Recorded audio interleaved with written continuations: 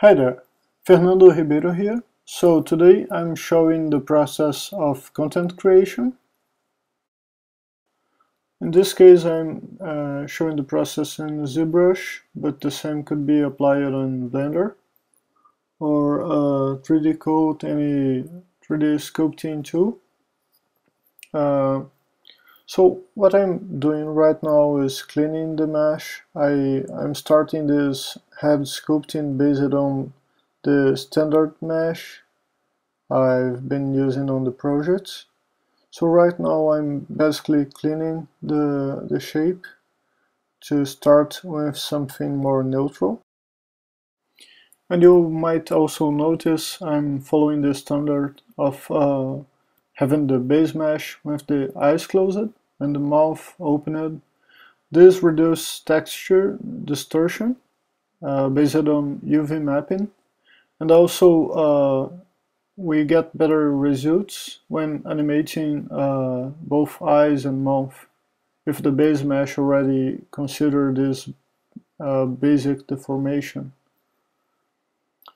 So one important uh, thing to consider when sculpting the tail for the for UMA is that the final result, the what will be provided is basically the textures, so the normal map and the other textures. So what's really important here is the fine detail and uh, medium level detail. The higher level, uh, I mean the bigger volume areas, uh, we really don't or shouldn't consider defining those uh, on the sculpting process because this this kind of volume will be defined by the sliders themselves. This may be a little tricky because we are usually not working this way. Uh, we are defining all the shape, all the all the stuff inside the ZBrush. But we need to keep in mind that for UMA projects, here we are providing the textures that might be used for many different avatars. Avatars with completely different shapes. So we, at the same time, it's really important to have a unique texture, something special. Uh, this solution, uh, what, what we provide should be flexible enough to handle different avatars. It's also important to avoid using the move tool. Uh, you see, when we are moving the mesh, uh, topology is also following this uh, change.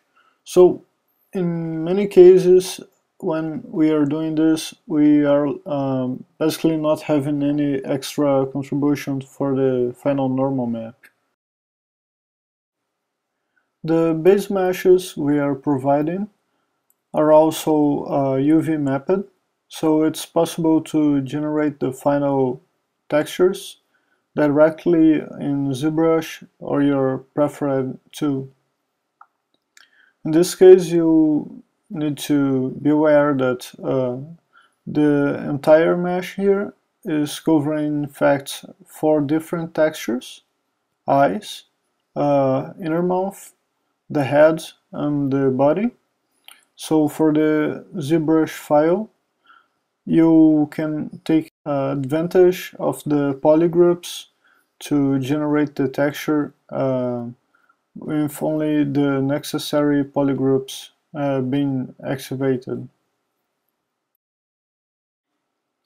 For the rest of this video, I will keep the sculpting process and uh, in the next one I will show the integration with Unity and the UMA project itself.